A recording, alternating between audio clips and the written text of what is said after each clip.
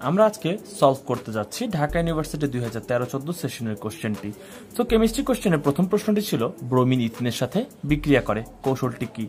তো আমরা যদি এখানে একটি ইথিনের সঙ্গে আঁকি ব্রোমিন পরমাণুসমূহ নিজেদের মধ্যে যে শেয়ারকৃত ইলেকট্রনগুলো রয়েছে, সেই শেয়ারকৃত ইলেকট্রনগুলোর মধ্যে একটি ব্রোমিন নিজের দিকে ইলেকট্রনগুলোকে টেনে নিয়ে যায়, যা হচ্ছে বন্ধনের বিষম ভাঙানোর উদাহরণ। সেই ইলেকট্রন যখন টেনে নিয়ে যায়, তখন অপর দিক থেকে এই কার্বন কার্বনের মধ্যে বন্ধন ভাঙার ফলে একটি কার্বন প্লাস এবং একটি কার্বন মাইনাসের সৃষ্টি হয়। ঠিক তেমনি ব্রোমিন পরমাণু এসে তখন কার্বনের মধ্যে হিট করে মানে ব্রোমিন প্লাস বা ব্রোমোনিয়াম এসে কার্বনের মধ্যে যখন হিট করে, তখন আমাদের যে যৌগটি উৎপন্ন হয়, যৌগটি দেখতে এরকম হয়ে যায়।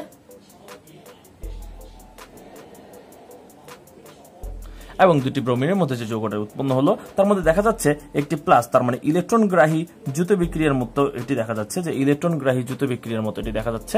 কেননা, কার্বন পরমাণুর কাছে ইলেকট্রন গ্রহণ ছিল, তখন কার্বন পরমাণুটি মাইনাসে এবং এই কার্বন পরমাণুটি প্লাসে পরিণত হয়ে এই যৌগটির শুরুর অংশটি শুরু করে দিয়েছিল, যার কারণে এটিকে আমি ইলেকট্রনগ্রাহী জুত বিক্রিয়া বলব। পরবর্তীতে রয়েছে আমাদের কোনটি? ক্যানিজারো বিক্রিয়া। ক্যানিজারো বিক্রিয়ার প্রথম শর্ত হচ্ছে আলফা কার্বন বিহীন হাইড্রোজেন হতে হবে। তো আমরা যদি এখানে একটি দেখে নিই, এই যে যৌগটি রয়েছে, এই যৌগটির মধ্যে সিওএইচ হচ্ছে মূলক। এই যে সিওএইচ মূলকটি, এটিকে আমরা অ্যালডিহাইড মূলক বলি এবং অ্যালডিহাইড মূলকের পাশে যে কার্বনগুলো থাকতো, সেগুলোকে আমরা বলতাম আলফা কার্বন। কিন্তু এখানে কোনোভাবে আলফা কার্বন নেই, যার কারণে এখানে কোনোভাবে আলফা হাইড্রোজেনও নেই। আর আলফা হাইড্রোজেন বিহীন যারা রয়েছে, তারাই হচ্ছে ক্যানিজারও বিক্রিয়া প্রদর্শন করে। আমাদের তৃতীয় প্রশ্নটি হচ্ছে প্রভাবকের কাজ কি? আমরা এটা জানি। অ্যাক্টিভেশন এনার্জি বা ইএ হচ্ছে একটি টার্মস যেটা হচ্ছে সক্রিয় শক্তি। তো একটি পরমাণুর জন্য বিক্রিয়ার ক্ষেত্রে দেখা যায় রিয়াক্টেন্ট থেকে প্রোডাক্টে পরিণত হওয়ার জন্য রিয়াক্টেন্ট থেকে প্রোডাক্টে পরিণত হওয়ার জন্য তাকে একটি বিশাল শক্তির বাধা বা বিশাল শক্তির ঢালকে অতিক্রম করে যাওয়া লাগে। যখন আমরা এটার মধ্যে কি ইউজ করব?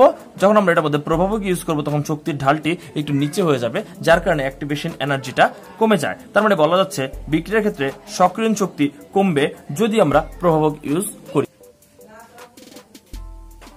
এইচ টু ও টু কে পারম্যাঙ্গানেট দ্বারা জারণ করা হলে ই নট সেলের মান কত আমাদের কাছে জিজ্ঞেস করা হয়েছে।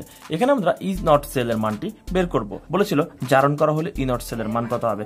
যদি আমাদের খালি জারণ করা হয়, তার মানে বিজারণের কথা বলা হয়নি, তাহলে আমাদের বিজারণের কথা যদি বলা হয়নি, তাহলে আমাদের যোগফল হবে বা টোটাল অ্যান্সারটি হবে হচ্ছে plus one point five one টেফলনের monomer কোনটি? টেফলন হচ্ছে টেট্রাফ্লোরো যোগের জন্য, টেট্রাফ্লোরো ইথেন যোগের জন্য। তো এখানে ফ্লোরিনযুক্ত একটি মাত্র মনোমার রয়েছে এবং সেটি হচ্ছে এটি।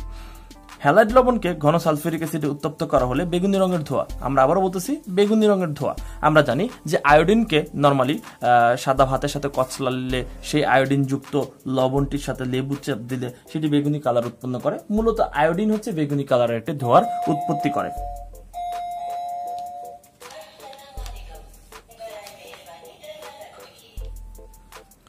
কার্বন হাইড্রোজেন এবং ইথেনের মান এখানে আমাদের কাছে দেয়া আছে। কার্বন, হাইড্রোজেন এবং হচ্ছে এখানে ইথেনের দহন তাপের মান আমাদের কাছে দেয়া আছে। এবং এখান থেকে আমাদের কাছে জিজ্ঞেস করেছে, এখানে আমাদের কত কিলোজুল শক্তি উৎপন্ন হবে? আমরা যদি এখানে টোটাল জিনিসটা দেখে নিই, আমাদের কাছে ইথেন রয়েছে এখানে C two H six ethane রয়েছে, এবং সেই ইথেনটার জন্য আমাদের শক্তিমত্তা বা দহন তাপের মান দেওয়া ছিল হচ্ছে পনেরোশো একষট্টি।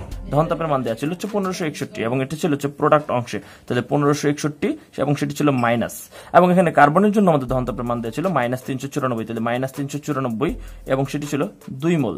আর হাইড্রোজেনের জন্য আমাদের কাছে ছিল হচ্ছে মাইনাস দুইশো ছিয়াশি এবং সেটি ছিল হচ্ছে হাইড্রোজেন এখানে তিন মোল। তিন mole H two H two তাহলে আমরা তিন ইন্টু এইচ টু এর জন্য যদি আমরা দেখি, তাহলে এইচ টু এর জন্য আমাদের কাছে মান ছিল হচ্ছে মাইনাস দুইশো ছিয়াশি। তাহলে মাইনাস দুইশো ছিয়াশি। পরবর্তীতে এটা থেকে বিয়োগ করে দিলে আমাদের টোটাল অ্যান্সারটি চলে আসবে। আশা করি তোমরা সবাই বুঝতে পেরেছ জিনিসটা।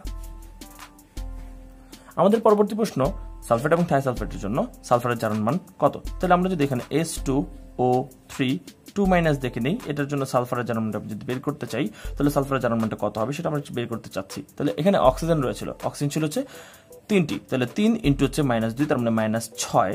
এবং ওখানে অক্সিজেন হচ্ছে মাইনাস টু তাহলে এখান থেকে আমরা সালফারের জারণমান পেয়ে যাব হচ্ছে প্লাস টু ঠিক তেমনি S four O six two minus এর জন্য আমরা উত্তর পেয়ে যাব হচ্ছে মাইনাস টু এবং এস ফোর এর জন্য এটা, এবং অক্সিজেন হচ্ছে ছয় দোকানে মাইনাস বারো।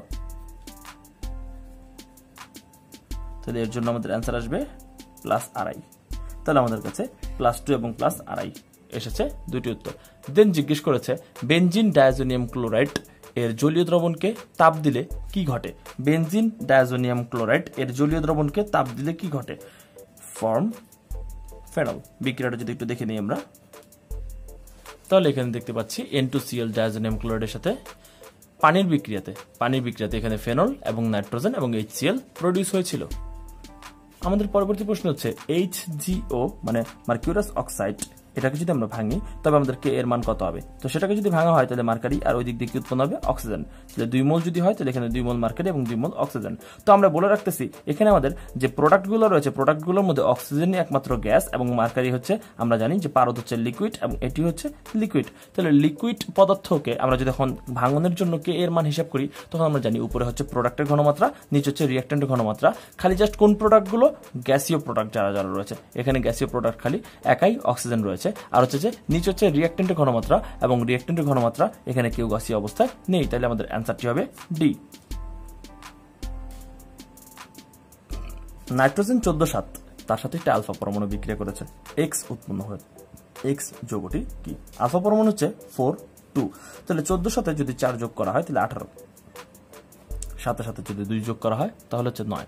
এখানে হচ্ছে আমাদের কাছে আঠারো থেকে এখানে আমাদের কাছে সতেরোটি ভর সংখ্যা এখানে ইউজ হয়ে গেছে। তাহলে এক্সের জন্য আমাদের ভর সংখ্যা হচ্ছে এক আর সাত আর দুই নয়, এর মধ্যে পারমাণবিক সংখ্যা ইউজ হয়েছে এখানে আট। তাহলে নয় থেকে যদি আট বাদ দেওয়া হয়, তাহলে আমাদের কাছে এক। তাহলে এক কমা এক এবং সেটি হচ্ছে একটি প্রোটন ফেনল ও অ্যালকোহল উভয়ের জন্য সত্য কোনটি? তো তোমাদের জন্য একটু জেনে রাখানো উচিত আমাদের যে ফেনল এবং অ্যালকোহল যারা যারা রয়েছে, তাদের মধ্যে দুটির মধ্যেই আমাদের ওএইচ মূলক রয়েছে এবং এই ওএইচ মূলকগুলা কার সাথে বিক্রিয়া করে? পিসিএল ফাইভের সাথে বিক্রিয়া করে। তাহলে ফেনল এবং অ্যালকোহল দুজনের জন্যই হচ্ছে পিসিএল ফাইভ রিয়েকশন করে। আমাদের পরবর্তী প্রশ্ন, একশো ডিগ্রি সেলসিয়াস ও এক অ্যাটমসফিয়ার চাপে এক কেজি জলীয় বাষ্পের আয়তন কত?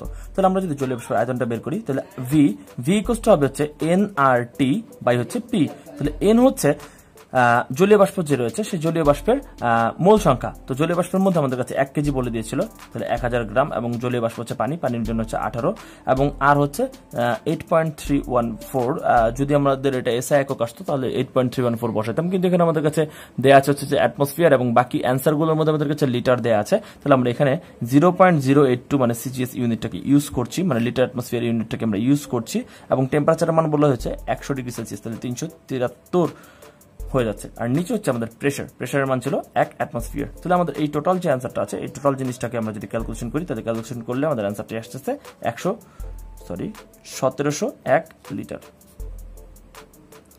প্রথম ক্রম বিক্রিয়ার অর্ধায়ুর মান দেওয়া আছে হার ধ্রুবকের মান জিজ্ঞেস করেছে। আমাদের হার ধ্রুবক ল্যামডাইকোস্ট হচ্ছে zero point six nine three divide বেচে টি হাফ প্রথম ক্রম বিক্রিয়ার জন্য। তো zero point six nine three এবং টি হাফ মানে পনেরো মিনিট, এটাকে যদি আমরা ভাগ করি মানে like zero point six nine three এবং পনেরো মিনিট মানে পনেরো ইন্টু ষাট, এটাকে যদি আমরা ভাগ করে দিই, তাহলে আমাদের অ্যান্সার আসতেছে four point six twenty twenty two per minus two per minute okay তো আমরা এই জিনিসটাকে কিন্তু অ্যান্সার হিসেবে বের করে ফেলতে পারি। যদি আমাদের সেকেন্ডে আনা হয়, আর যদি মিনিটে আনা হয়, তাহলে আমাদের সাইড দিয়ে গুণ দেওয়ার দরকার নেই। তো একটি রোগীর রক্তে গ্লুকোজের পরিমাণ বলেছে সামথিং মিলিমোল পার লিটার একটি রোগীর রক্তে গ্লুকোজের পরিমাণ বলে দিচ্ছে টেন মিলিমোল পার লিটার তো জিজ্ঞেস করেছে এটা ম্যাগনেসিয়াম সরি কত মিলিগ্রাম পার ডেসিলিটার হবে? তো আমি তোমাদেরকে একটু বলে দিচ্ছি যে মিলিমোল পার লিটার থেকে তুমি যদি মিলিগ্রাম পার ডেসিলিটারে যেতে চাও মিলিমোল পার লিটার থেকে যদি তুমি মিলিগ্রাম পার ডেসিলিটারে যেতে চাও, তাহলে কিছুই করতে হবে না, খালি জাস্ট আঠারো দিয়ে গুণ দিবে। আর যদি অল্টারনেট ঘটনাটা করতে চাও, তবে তুমি হচ্ছে আঠারো দিয়ে ভাগ দিবে। তো ঘটনা হচ্ছে এই ঘটনাটা খালি জাস্ট গ্লুকোজের জন্যই প্রযোজ্য। খালি জাস্ট কার জন্য প্রযোজ্য? গ্লুকোজের জন্যই প্রযোজ্য। তাহলে আমাদের এখানে অ্যান্সার আসবে। একশো আশি। এটি কিন্তু একশো আশি না, এটি হচ্ছে one point eight zero one point eight zero confusion রেখো না তোমরা মনের মধ্যে। ডালাইলো হতে কার্বনের পার্সেন্টেজ কত? এটি মুখস্থ প্রশ্ন, এবং সেটি হচ্ছে দুই থেকে সাড়ে চার percent SnCl two plus FeCl three SnCl four plus হচ্ছে এফিসিএল টু কোনটি সত্য? তো আমরা যদি এখানে টোটাল জিনিসটার মধ্যে দেখি যে এখানে স্ট্যানামাসের জার্মান মান ছিল হচ্ছে প্লাস টু ফেরাসের জার্মান তাহলে কত হবে? এবং ক্লোরিনের জার্মান হচ্ছে মাইনাস টু তাহলে এখানে ক্লোরিনের জার্মান মান কত? মাইনাস থ্রি তাহলে ফেরাস কত হবে? প্লাস থ্রি ঠিক তেমনি এখানে প্লাস ফোর এবং ক্লোরিন হবে মাইনাস ফোর ঠিক তেমনি রাস এর জারণ হবে প্লাস টু এবং ক্লোরিন হবে মাইনাস টু তো আমরা দেখতে পাচ্ছি জারণ মানে এখানে হ্রাস বৃদ্ধি ঘটেছে। অবশ্যই হ্রাস বৃদ্ধি ঘটেছে। তুমি যদি স্ট্যানাসের দিকে তাকাও, এখানে স্ট্যানাস ছিল প্লাস ফোর প্লাস টু এবং এখান থেকে হয়ে গেছে স্ট্যান্ডার্ড হিসেবে প্লাস ফোর তার মানে জারণ মান টু থেকে ফোরে হয়েছে। তার মানে জারণ মান বেড়েছে। আর জারণ মান বাড়া মানে হচ্ছে জারিত হওয়া। তার মানে বলা যাচ্ছে এখানে আমাদের স্ট্যানাম অথবা টিন জারিত হয়েছে। ক্লাস টু থেকে ক্লাস ফোর যেহেতু তার জারণ মান হয়েছে। আইসোটন কি? আইসোটন মানে যেখানে আমাদের নিউট্রন সংখ্যা সমান। নিউট্রন সংখ্যা সমান। আমরা যদি এখানে দেখি, একত্রিশ থেকে পনেরো বাদ দিলে ষোলো হয়, বত্রিশ থেকে পনেরো ষোলো বাদ দিলেও ষোলোই হচ্ছে, তার মানে এখানে নিউট্রন সংখ্যা কিন্তু সমান।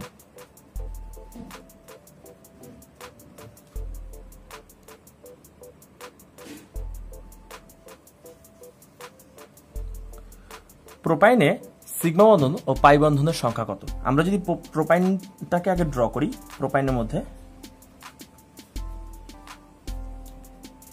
এখানে কার্বন আর হাইড্রোজেনের মধ্যে যে বন্ধনটি রয়েছে সিগমা বন্ধন এটি একটি সিগমা বন্ধন এবং কার্বন কার্বনের মধ্যে যে বন্ধনটি রয়েছে, এটি একটি সিগমা বন্ধন এবং বাকি দুটি হচ্ছে পাই বন্ধন তার মানে বলা যাচ্ছে, এখানে টোটাল সিগমা বন্ধন রয়েছে, তিনটি পাই বন্ধন রয়েছে, একটি।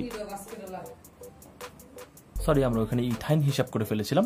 প্রোপাইনের জন্য আরেকটি কার্বন বেড়ে যাবে। তাহলে আরেকটি কার্বন যদি বেড়ে যায়, তাহলে এখানে টোটাল আমাদের কাছে সিগমা বন্ধন কয়টি হচ্ছে?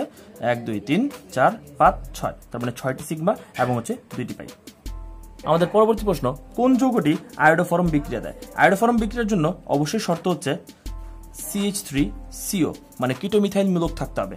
এই মূলকটার নাম হচ্ছে কি বলো? কিটো মিথাইল কিটো মিথাইল মূলক যদি না থাকে, আবার বলতেছি কিটো মিথাইল মূলক যদি না থাকে, তাহলে কেউ আয়োডোফরম বিক্রিয়া দিতে পারে না। তাহলে সিএইচ থ্রি সিও সিএল এটি হচ্ছে কিটো মিথাইল মূলকযুক্ত যৌগ। C four H ten O এর জন্য সর্বোচ্চ কতটি ইথার যোগের সমান সম্ভব? এর জন্য তিনটি ইথার যোগের সমান সম্ভব। কপার টু প্লাস দ্রবণের মধ্যে, তার মানে আমাদের কাছে এন এর মান বলে দিয়েছে দুই। হাফ আওয়ার ধরে তার মানে আমাদের কাছে টি দেওয়া আছে এবং আমাদের দশ এম্পিয়ার বিদ্যুৎ প্রবাহ চালানো হয়েছে, তার মানে আমাদের কাছে আই দেওয়া আছে।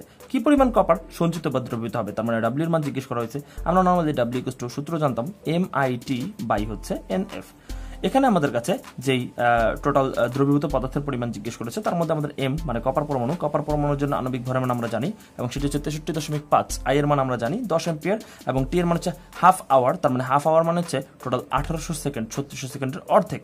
এবং এন হচ্ছে আদান প্রদানকৃত ইলেকট্রন সংখ্যা, সেটি হচ্ছে দুই, এবং এফ হচ্ছে ছিয়ানব্বই হাজার পাঁচশো। অ্যান্সার আমরা যদি বের করি, বের করে দেখব যে এই কারোর সাথেই মিলছে না, তার মানে নাম হচ্ছে উত্তর। ওয়ান মোলার সোডিয়াম হাইড্রক্সাইড দ্রবণে একশো মিলিলিটারকে প্রশমিত করতে কত আয়তন অক্সালিক অ্যাসিড লাগবে? তো সোডিয়াম হাইড্রক্সাইডের সাথে যদি আমাদের অক্সালিক অ্যাসিডের বিক্রিয়া দেওয়া হয়, অক্সালিক অ্যাসিডের সংকেত কি? অক্সালিক অ্যাসিডের সংকেত হচ্ছে তো এখানে আমরা দেখতে পাচ্ছি সোডিয়াম হাইড্রক্সাইড মানে বেইজের মূল সংখ্যা হচ্ছে দুই, অ্যাসিডের মূল সংখ্যা হচ্ছে এক।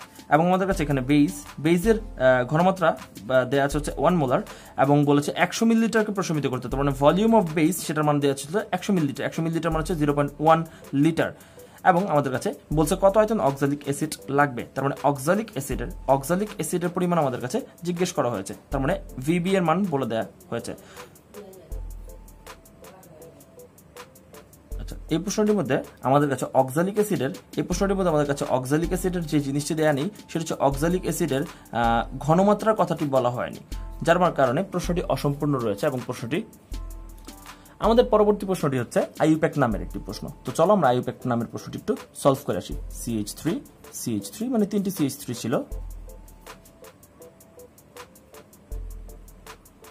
তাহলে যৌগটির সংকেত দেখতে অনেকটা এরকম। আমরা যদি এই টোটাল যৌগটির গাঠনিক সংকেতটিকে অ্যানালাইসিস করতে চাই, তাহলে গাঠনিক সংকেতটি এরকমভাবে হবে। তাহলে এক, দুই, তিন, চার, পাঁচ, ছয়। তাহলে আমাদের টোটাল কাছে ছয়টি কার্বন রয়েছে। এর মধ্যে এটা হচ্ছে এক নম্বর কার্বন দুই নম্বর কার্বন তিন, চার, পাঁচ, ছয়। ছয়টি কার্বন রয়েছে।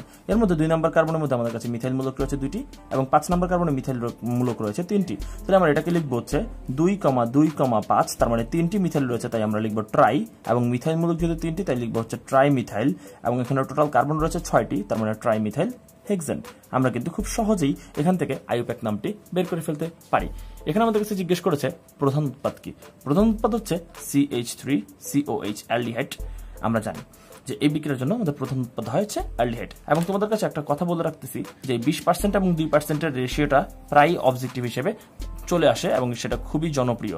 এবং বিশ পার্সেন্ট আর দুই পার্সেন্ট কেন এবং অন্যান্য পার্সেন্টেজই না কেন, এর একটা খুবই সুন্দর উত্তর রয়েছে। এর একটা খুব সুন্দর উত্তর হচ্ছে যে এই বিশ পার্সেন্ট এবং হচ্ছে দুই পার্সেন্ট যদি হয়ে থাকে, তাহলে এই বিক্রিয়াটি মার্কেট বা লাইক ইন্ডাস্ট্রিয়াল প্রোডাকশনের জন্য পারফেক্ট হবে। বলেছে, কোন অরবিটালে ইলেকট্রন আগে প্রবেশ করবে? আমরা এর জন্য প্রত্যেকের এন প্লাস এল এর মান জিজ্ঞেস করব। এখানে আমাদের এন এর মান হচ্ছে চার এল এর মান হচ্ছে এফ এর জন্য। আমরা একটু বলে দিচ্ছি এস এর জন্য আমাদের এল এর মান হচ্ছে শূন্য পি এর জন্য এক ডি এর জন্য দুই, এবং এফ এর জন্য হচ্ছে আমাদের এল এর মান হচ্ছে তিন। তাহলে এটার জন্য এন প্লাস এল এর মান হচ্ছে সাত। এর জন্য হচ্ছে সাত। এর জন্য হচ্ছে সাত। এর জন্য হচ্ছে সাত। তো এখন ঘটনা হচ্ছে, সবগুলোর মানই হচ্ছে সাত। যদি সবার মান সমান সমান হয়ে যায়, তখন তোমাকে দেখতে হবে যে কার এন এর মান ছোট। দেখা যাচ্ছে এখানে এন এর মান হিসেবে, ছোট হিসেবে ফোর ফাইভ সিক্স সেভেন এর মধ্যে সবচেয়ে ছোট হচ্ছে ফোর তার মানে ফোর এফ এ সবার আগে ইলেকট্রনটি প্রবেশ করবে। যেহেতু ফোর এফটি হচ্ছে দুর্বল শক্তির অরবিট আমাদের কাছে প্রশ্নটি হচ্ছে নিচের কোনটি বাফার দ্রবণ। বাফার দ্রবণের জন্য তোমাকে যে জিনিসটা মনে রাখতে হবে মাল্টিপ্লাই করে দেখতে হবে যে দুর্বল অ্যাসিডের পরিমাণ বেশি রয়েছে কিনা, অথবা দুর্বল ক্ষারের পরিমাণ বেশি রয়েছে কিনা। তাদের দুজনকে যদি আমরা মাল্টিপ্লাই করি, দুইয়ের মতো আসবে অ্যান্সার এবং তাদেরকে মাল্টিপ্লাই করলে আমাদের আসবে একের মতো অ্যান্সার এটি হচ্ছে দুই, একের চেয়ে বড়। আর এটির ক্ষেত্রেও যদি আমরা দেখি, এটির ক্ষেত্রে দুই, এটির জন্য দুই দুই মাল্টিপ্লাই করো। এদের ক্ষেত্রেও দেখা যাচ্ছে, এটি হচ্ছে এক, এটির ক্ষেত্রে দুই, এটির ক্ষেত্রে এটি এক, এটি হচ্ছে কত? দুই। তাহলে দেখা যাচ্ছে যে এইসব ক্ষেত্রে, বা এটা তো, প্রথম কথা হচ্ছে যে এটা তো আসলে তীব্র অ্যাসিড এবং তীব্র ক্ষার। তাহলে এটা প্রথমেই বাদ। এবং বাকি যারা যারা রয়েছে, তাদের তিনজনের মধ্যে হওয়ার সম্ভাবনা রয়েছে এবং তারা হচ্ছে ইকুয়াল তার মানে এটাও বাদ। এবং তাদের দুজনের মধ্যে হওয়ার সম্ভাবনা রয়েছে এবং তাদের দুজনের মধ্যে হওয়ার সম্ভাবনা থাকলে এটা হচ্ছে খার ক্ষারের পার্সেন্টেজ বেশি, আর এটা হচ্ছে অ্যাসিড অ্যাসিডের পার্সেন্টেজ বেশি, তার মানে বলা যাচ্ছে যে এটি হবে হচ্ছে বাফার কারণ বাফার দ্রবণের মধ্যে শর্তই হচ্ছে দুর্বল যে তার পরিমাণটা বেশি থাকতে হবে। আমাদের কাছে বলেছে CH three C double O H দ্রবণের পিএইচ এর মানটি কত? আমরা যদি এটিকে খুব ইজিলি ক্যালকুলেশন করার চেষ্টা করি, তাহলে আমাদের জন্য যে ক্যালকুলেশনের সূত্রটি রয়েছে, সেই ক্যালকুলেশন সূত্রটি অ্যাপ্লাই করলে আমাদের উত্তরটি চলে আসবে। তো তোমাদের জন্য একটু বলে নিচ্ছি, এটা কিন্তু পিএইচ এর মানটা বের করার জন্য এই সূত্রটি ইউজ করলে হবে না। এটার জন্য সূত্র হচ্ছে root over K a into C তারপর তুমি যদি এই মানটিকে বসায় দাও, অবশ্যই কিন্তু মাইনাস লগ রয়েছে। Minus log root over K a into C এই মানটি যদি তুমি বসায় দাও, তাহলে তোমার কাছে উত্তর আসবে হচ্ছে two point eight seven two নিচের কোনটি সর্বাধিক যৌগ গঠন করে। এবং এটি একটি মুখস্থ প্রশ্ন জেনন এইচ সিওএইচ অণুতে কার্বনের হাইব্রিডেশন কত? আমরা যদি এখানে সিওএইচ এর যোগ দেখে নিই, এখানে আমাদের টোটাল কয়টি সিগমা বন্ধন রয়েছে সেটি হচ্ছে প্রশ্ন। সিগমা বন্ধনের দিক থেকে যদি আমরা দেখি, তাহলে এখানে হাইড্রোজেন কার্বন একটি সিগমা হাইড্রোজেন কার্বন একটি সিগমা এবং কার্বন অক্সিজেন একটি সিগমা এবং একটি পাই বন্ধন রয়েছে। তার মানে তিনটি সিগমা বন্ধন রয়েছে। তো যতটি সিগমা বন্ধন, তত তার সংকরণ। তার মানে একটি এস এবং হচ্ছে দুটি পি মিলে তিনটি সিগমা ফর্ম করেছিল, তার মানে তার সংকরণ হবে এসপি টু